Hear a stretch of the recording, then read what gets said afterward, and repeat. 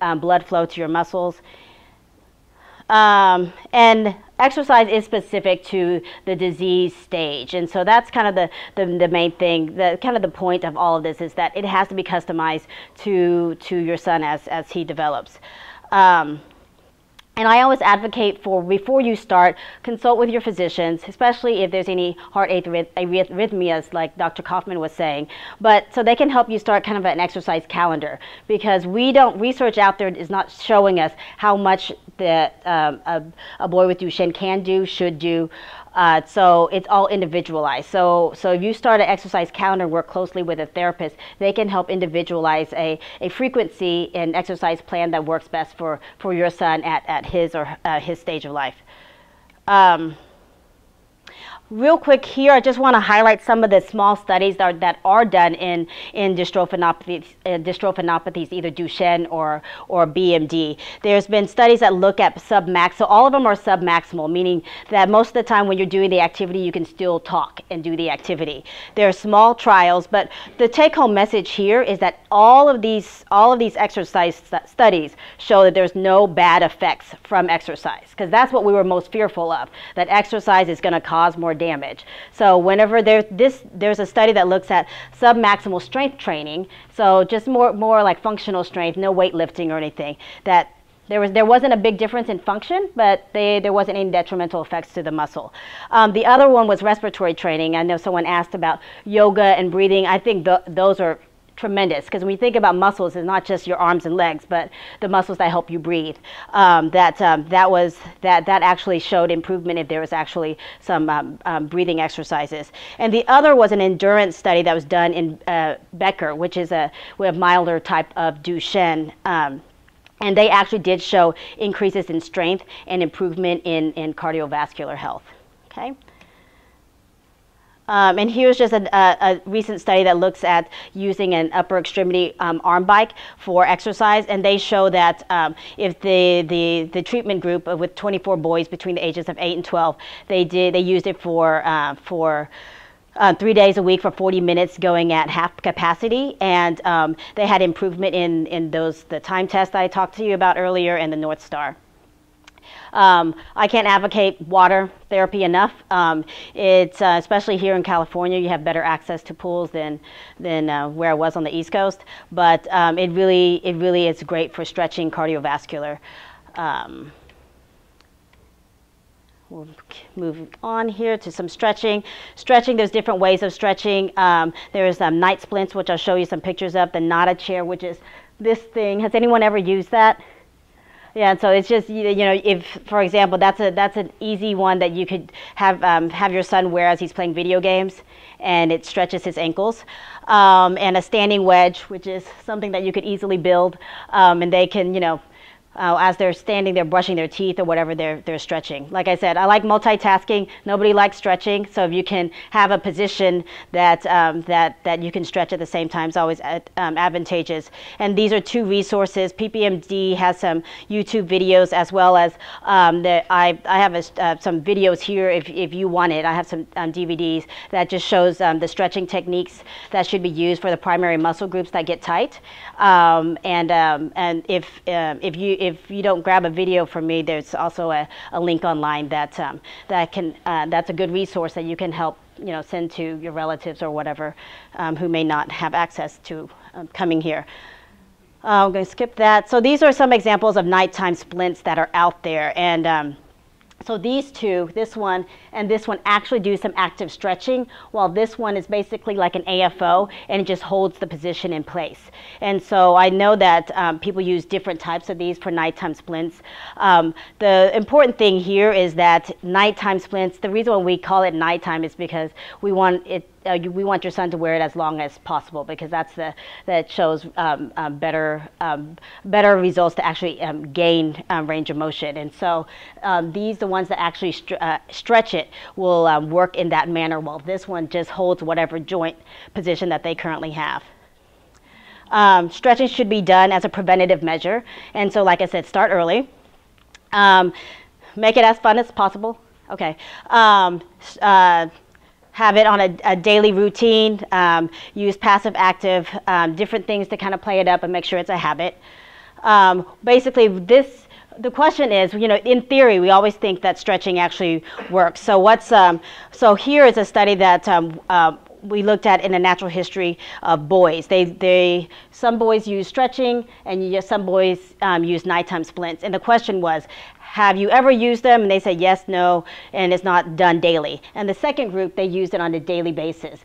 The take-home message here is every single group, whether it's using daily stretching or nighttime splints, they had a range of motion difference compared to those who didn't use it. So, so it's, it's, it's, it's a natural history study. So take that with a grain of salt, but still this is really indicating that if you use it on a daily basis, it does help with range of motion.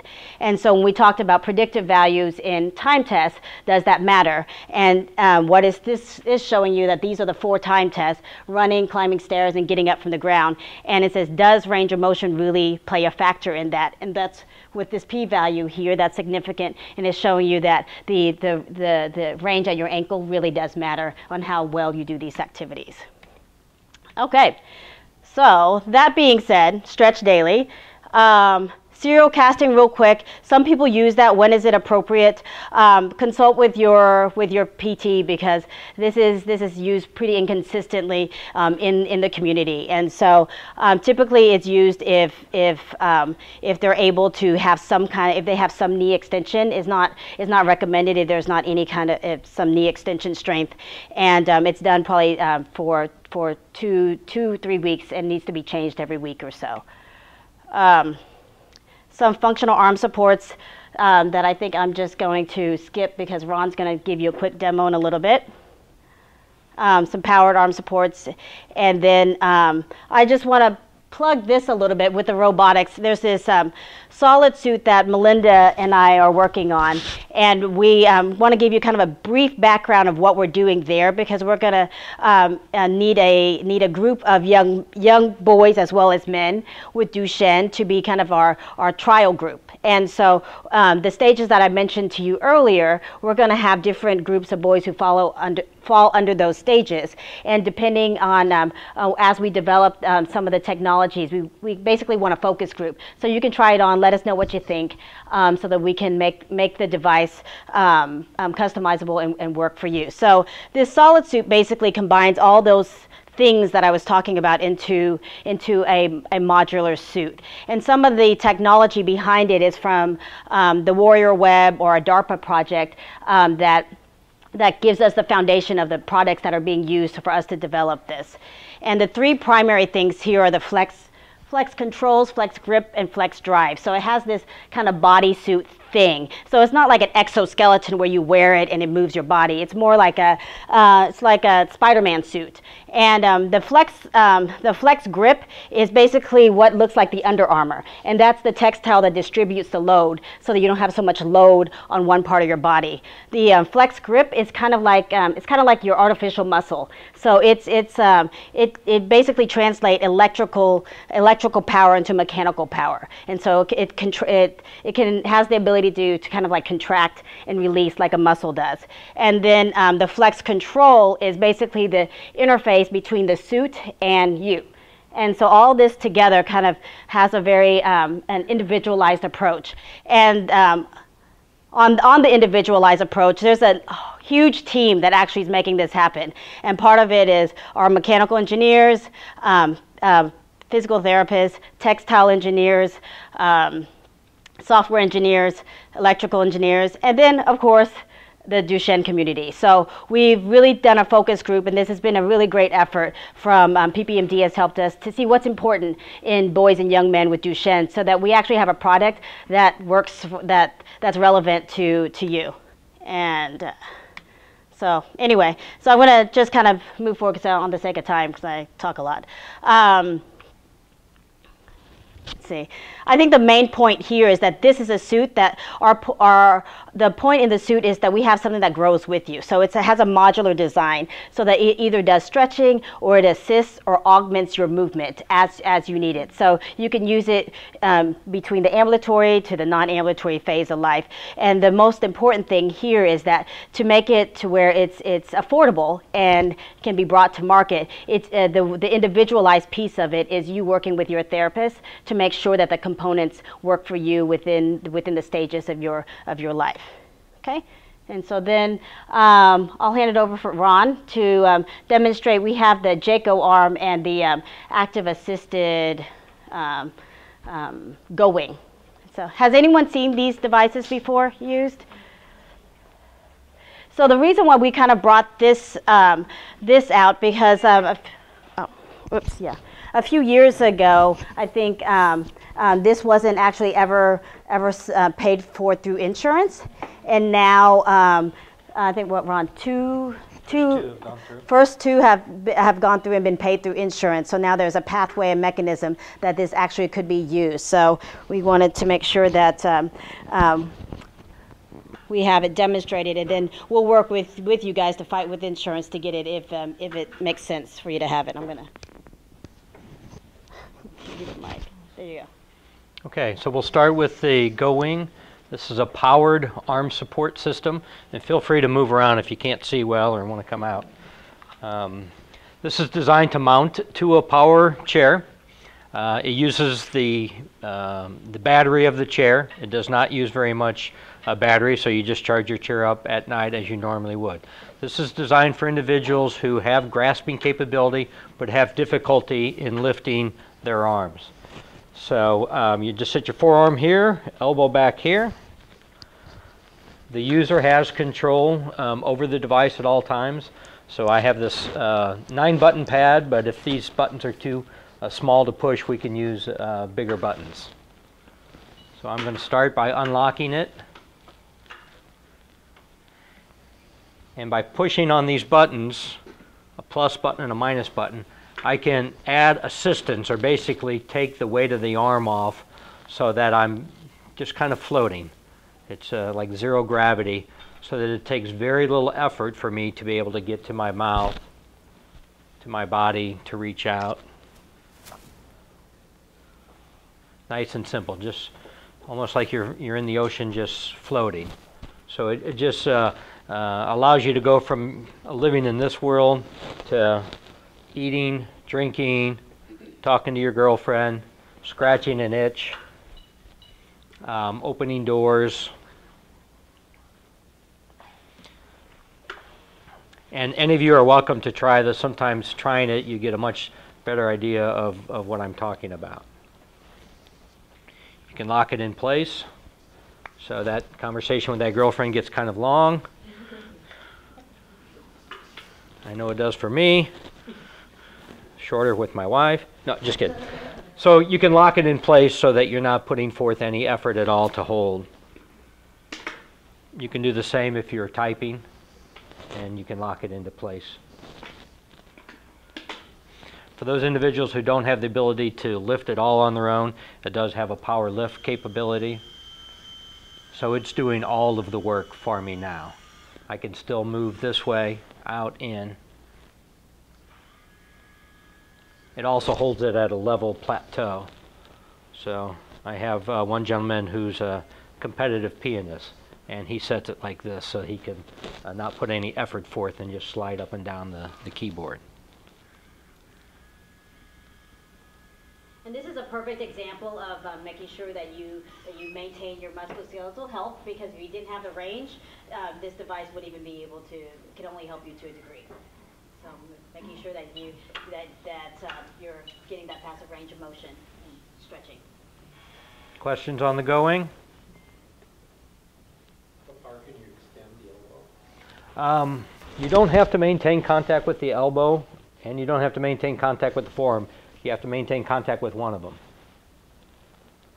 And this device, it doesn't help with this component of it. It helps, uh, you have to have some shoulder movement to be able to, to use it. Yeah, so the, the, the elbow flexion and extension, this isn't going to help other than taking the weight off so that it requires a whole lot of effort, less effort to do this. And the same with the shoulder muscles, very complex joint here. Um, so it just takes the weight off, but you still have to be able to, to do some of that on your own. It does mount, it mounts on the seat rail, so attaches. Typically, it adds somewhere between zero and one inch to the width of the chair, depending on the, the chair and everything else that you have hanging on that chair and where and how we uh, configure it. So this black piece here, and then the, uh, the Gowing itself. So it is easy to remove it.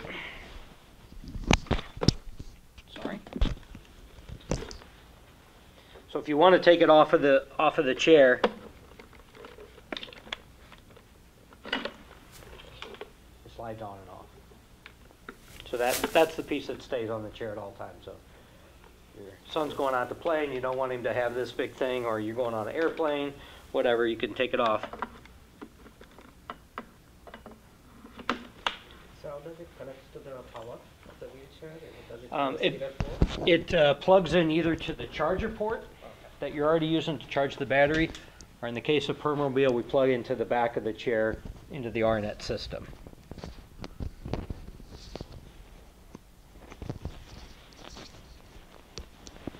All right, so again, you're welcome to play with that. Um, afterwards, we'll have it here all afternoon.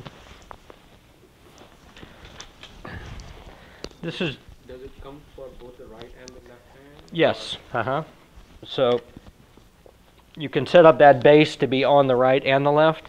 Um, you could use two at once, but it's more difficult because you're you're typically using these buttons to um, control the amount of lift that you're giving yourself. Now, some people will just set it and forget it. That lift is perfect for them.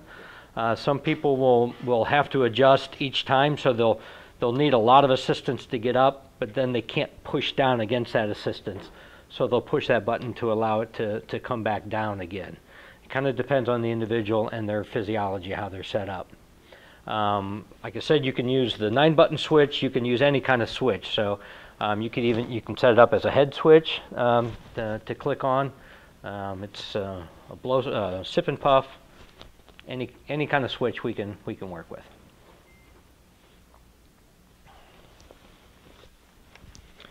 So uh, this is JACO uh, robotic arm. This also mounts to the power chair. It also goes on the seat rail. Um, both these devices will, as you uh, uh, retract, or excuse me, uh, recline, they'll recline with you. Um, uses the, the uh, wheelchair power um, also. Um, this is really designed for individuals who don't have lift or grasping capability, so this becomes an arm and a hand for them. So this is controlled with the controller that the individual is currently using to drive their chair. So if they're using a joystick or a sip and puff or a head array, whatever they use to drive their chair is what we tie into. So we're not adding any extra hardware there and you're not having to learn to use a different kind of a controller, a different kind of a, of a joystick. So JACO has uh, 16 different moves. I'll just step you through them forward, backward, left, right, up, down. Put it out here so you can uh, see the hand a little bit better. The hand will open and close. Um, this is a grasp. Um, it can also do a pinch if you're picking up something small. And then we have the ability to articulate the wrist in any way um, that a human wrist can move. And in some ways that the human wrist can't move. I'd love to have this capability. Just open that jar one handed, right? so, um, to give you some sense of, of grip strength, because that gets asked a lot, somebody want to come up here and shake hands with JACO? Thank you for uh, volunteering.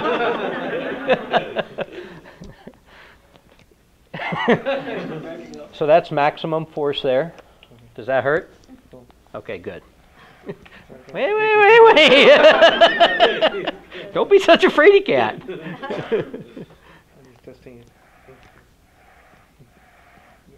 So that's how JACO shakes your hand. Um, now, do we have a, um, a bottle of, or anything that we can put in his hand? How about, uh, uh, even better is uh, maybe that kind of a bottle.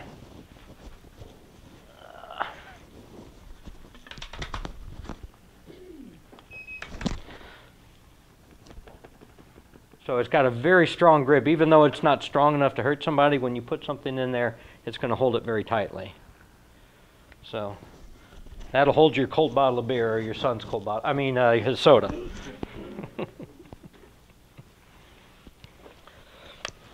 so you may have noticed me pushing buttons. You know, a joystick or a sip and puff only has four movements, right? Forward, backward, left, right. I mentioned that JACO does 16 different things, so we have to have different modes uh, that JACO moves into, you know, from a finger mode to a wrist mode to an arm mode. And we do that by clicking a button, um, and that button can be anywhere on your chair in any fashion, uh, much like this. Um, often we'll put it next to the joystick if you're using a joystick. It could be a sip and puff, it can be a head switch. Um, we even have um, blow switches where you, you blow at it and, and it'll change the mode. Um, so these are all very customized to, to set up to your particular uh, needs. Questions about JACO? So how's the, the bottom sensitive or sensitivity of the, Of, of the hand? or the bottom, the one that's. The button? You can, s- whatever kind of button that you want. So we can use a micro light, which is just basically a feather touch to it. We can even use a proximity switch where all you have to do is get close to it and, it, and it'll activate. How heavy of an object can it hold? I don't know if you mentioned that. Yeah, so it's very much like the, the human arm in, in many fashions. Um, fully extended, it can hold about three and a half pounds or about a half a gallon of milk. Um, as you get closer, it can hold more just like your own arm can. So most of the things you're going to find around the, the house, uh, it'll have no troubles uh, holding on to.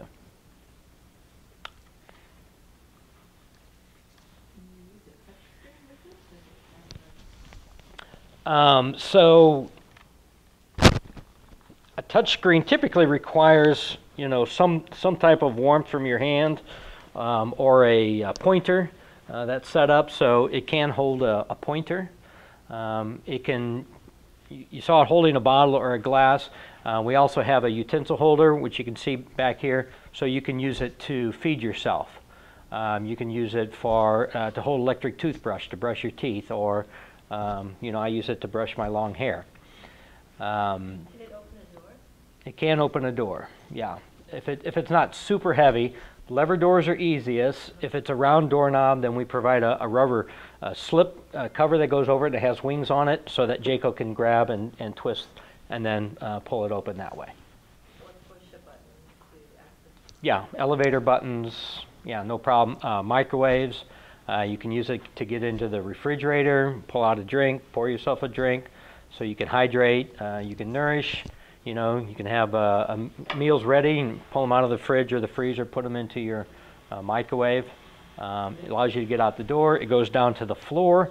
Uh, so if you drop something, you can pick it up. You know, we get that request a lot. You know, I dropped my cell phone. Um, scratch and itch is another uh, big use for it. Ask, like, would you feel comfortable scratching an itch on your face? I feel I, I would be comfortable scratching an itch on your face. so so yes, absolutely. Um, you know, my nose itches, right? Not anymore. Um, we can set up a force field around the individual so that they can't hit themselves with it. Uh, sometimes we'll do that early on if somebody is just learning. Um, you can also set that's called a no-go zone. You can also set up a go slow zone, so as it gets close to your face, it automatically will slow down. Some people like to use that when they're learning to eat with a, especially with a fork. They don't want to, you know, smack themselves with it, so it'll slow down as it gets uh, closer. Uh, we don't use it very often um, um, because you know it, it, you learn pretty quickly with this. Training time is about two hours. That's all I spend with an individual, and then after that, it's uh, it's just about practicing. How does that, is it easy to take on an airplane, like a sun security, like, if they see that? Yeah, so it, it comes with a case that you fold up and put it in a case because most people don't, you know, you can't get, you don't want to put this and your power chair on the, the airplane. Um, but it is easy to take off of the uh, airplane, or excuse me, off of the, uh, the uh, power uh, wheelchair. So there's just two levers holding it in place, and it lifts off like that. One's for power, and one is for the controller, so these just unscrew. It weighs 11 and a half pounds. Um, it's made out of carbon fiber, so it's extremely strong, but lightweight. So it doesn't make your chair drive funny, and um, you know the caretaker can take it off the chair pretty easily.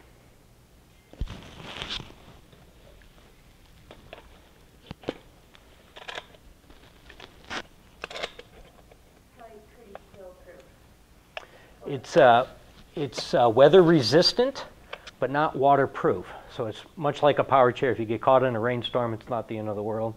Um, but we don't want you taking it in the swimming pool with you. Don't go after your rubber ducky in the, in the tub. Other questions on either one of these two? I think this goes for both devices. The main question I have is, like, are the movements as efficient as a normal human? So no, you can't. It's not as fast as a normal human hand. Um, what you'll find is over time, and that time is usually a couple of months, your brain starts to hardwire to the movements. Um, so we give you a screen that will let you see what mode you're in. Um, but what we find is people just start operating it much like you drive your chair. You know, you don't think, oh, I'm going to go forward and, and veer over to the right. You just do it, right? Um, so it, it kind of gets to be that way as well. But it's not. It's never going to be quite as fast as, as the way that I move. You can change the speed. So we tend to start it out a little bit slower when somebody's learning it, and then as they get better, they say, "Hey, can you speed it up?" Um, that can be done over the internet. We give you software that you can put on a laptop or a tablet or a PC, and we can dial into your JACO and make adjustments um, over over the internet. If it breaks, we fly a rep out to your home to repair it, um, or we FedEx overnight another arm to you pre-programmed to your custom settings um, that we keep in our office so that you can just swap them out um, so that you're not without it for a period of time. Because as you can imagine, folks get pretty, uh, pretty used to it. Does it come with just one size, adult size, or do they have uh, different sizes? Um, just just one size. Um, uh, we have a shorter version called MICO, but we really typically don't sell it into the into the um, end user community um, because it can't reach to the floor, or if it reaches to the floor with a small chair. As the person gets bigger and gets into a bigger chair, then it can't reach to the floor, and that's really a, a big use that we see uh, for it. Um, and then just being able to open doors and get into cabinets and drawers and open the refrigerator, you want something bigger. Um, when you're not using it, you don't have to have it uh, sitting out here. You can put it into a retract mode or a storage mode, and that position can be anywhere you want.